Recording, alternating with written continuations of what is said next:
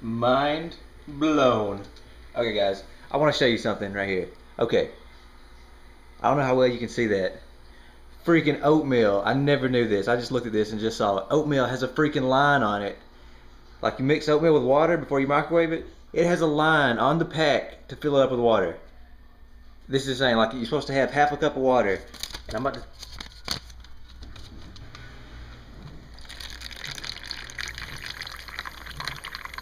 fill it up to the line. Okay. So if that freaking line is accurate, that's half a cup.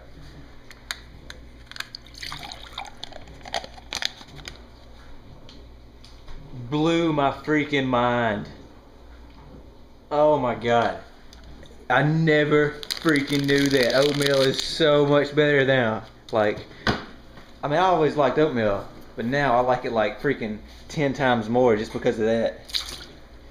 Alright, guys. So I just wanted to share that with you. If you knew about that, then this probably seems pretty retarded, but I didn't. So, subscribe, and I'll catch y'all later.